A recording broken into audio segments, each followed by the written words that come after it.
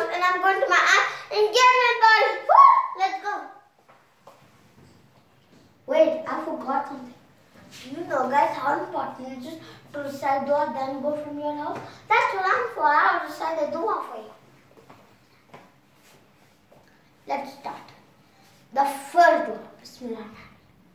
أعوذ بكلمات الله التامات من شر Shari Maakala.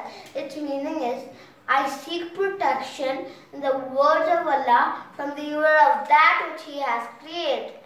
Now the second dua. Bismillahi tawakkaltu la illa quwwata illa billah. It means, in the name of Allah, I trust in Allah. There is no might or no power but in Allah.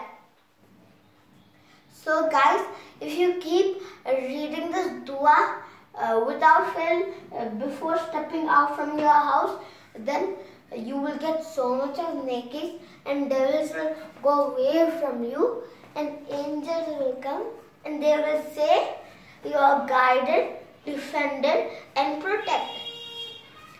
So guys, keep watching my videos. Subscribe, hit the bell to turn on the notification.